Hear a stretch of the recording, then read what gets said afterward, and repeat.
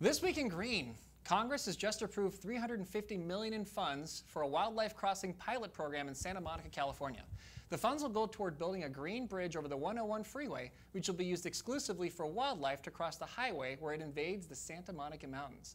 While there are currently around 1,000 wildlife crossings in the country, this pilot will hopefully prove the viability of a more ambitious government project that could place several of these crossings over any highway that impedes the natural movement of wild animals. Proponents of the project cite inbreeding in mountain lion populations and overly frequent collisions with deer along highways as a reason to move this project forward. There are many types of crossings, or as Elmer Fudd calls them, choke points, where widowed animals can cross. Some are for bridges that match the environment with walks and trees. Other are tunnels, which are perfect for blasting westerly rabbits. His colleague Yosemite Sam's agreed, stating, "That vermin don't know what hit him." Oh my that's God. that's uh, that's my news report for the for, for the crossing.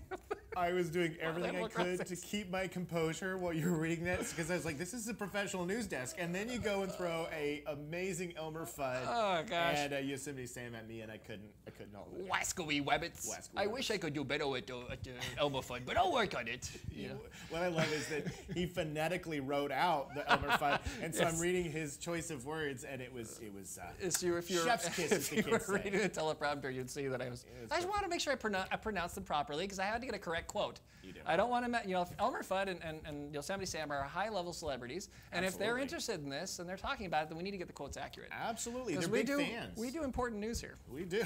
We do important. News. Just imagine how amazing that'll look in a suit when you do an Elmer Fudd story.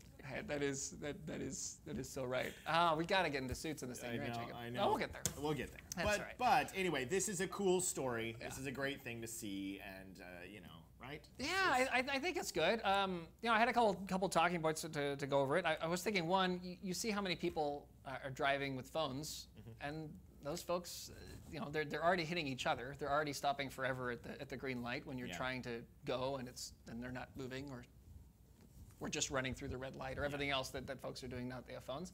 That's also affecting animals. It's we're hitting more of them. That people are hitting deer and, and, and elk and buck and moose and all sorts of crazy things out there. So it's just not you know it's it's it's something that that's that's worth looking at. Yeah. Also, we're invading more and more of the natural land. So you know, doing so only kind of makes makes sense, right? Um, we're building into the wildlife area. We should uh, account for what we're doing for that, I think, and, and Yeah. try our best to mitigate what we do to screw up their lives. Some of the stuff they were talking about with uh, in, in, in the article uh, with with cougars uh, or mountain lions. There's like six names, by the way, for a mountain Yeah, lion. there are so Yeah. many species. Yeah, but they, but they they uh, you know like they're having they're having trouble breeding because they they travel a very long distance, and when you cut across the middle of their territory with a kind of an unpassable freeway, they they get hit, they die, or they just don't bother going over, and so they're not breeding as readily with other other mountain lions, and it's and it's causing a, a serious problem.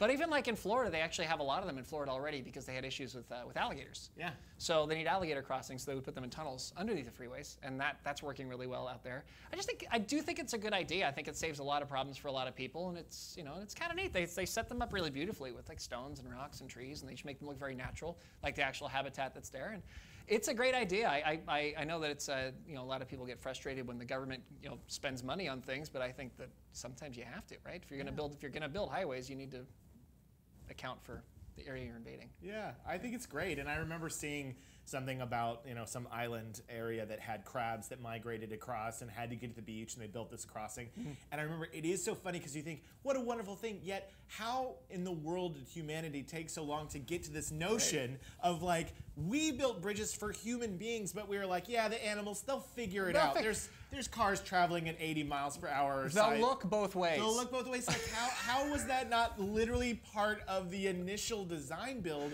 However many years ago, they should have said like, okay, we need a place for people to cross, and also there's a lot of wildlife that needs to get across this. We should probably create a path that's just for them and it's not for people. So Well, humans need work, Jacob. humans really we need, a little bit of work. Yeah. I guess if I was to try to defend what it was, when when at first we were doing this, it was generally, not totally, but it was it was generally roads just in in towns and That's true. cities, and and it wasn't until we started connecting them, uh, and then putting the cities together through through better roads and actually making highways. Um, that, that it really became an issue, you know, in the after World War II, right? For the Yeah. the the uh, the uh,